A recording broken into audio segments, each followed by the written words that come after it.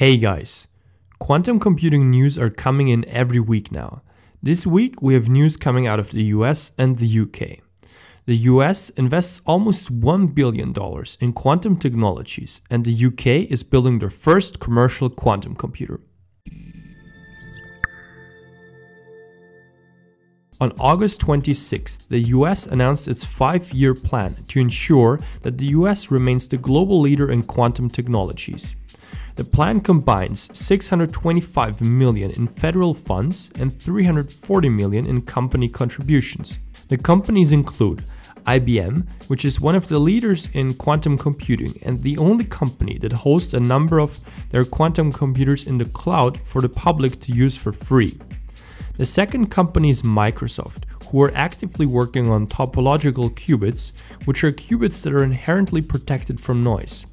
This is still very much at the research stage and years, maybe even decades away from the stage that IBM and Google is at with their superconducting charge qubits, which have a significant amount of noise. In the meantime, Microsoft will provide cloud access to quantum computers from their partners via Microsoft Azure, which is not available to the public just yet, but will probably launch in the near future. Then we have Intel, who are building superconducting chips and researching spin qubits. The fourth company is Applied Material, an American semiconductor company. And lastly, we have Lockheed Martin, the American aerospace and defense company. The US quantum computing plan further specifies five quantum computing centers, which are located at Argonne, Brookhaven, Fermilab, Oak Ridge, and Lawrence Berkeley National Laboratories. Just a week later, on September 2nd, the UK announced their own quantum computing plans.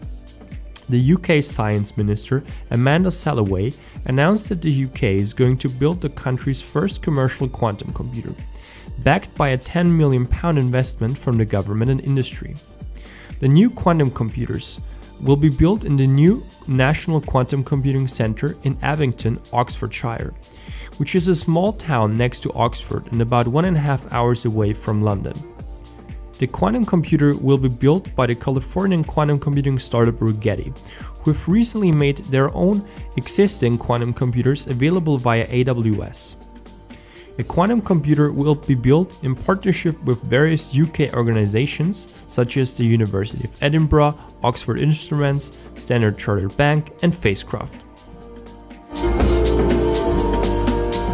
Hey guys, I hope you enjoyed this super quick video.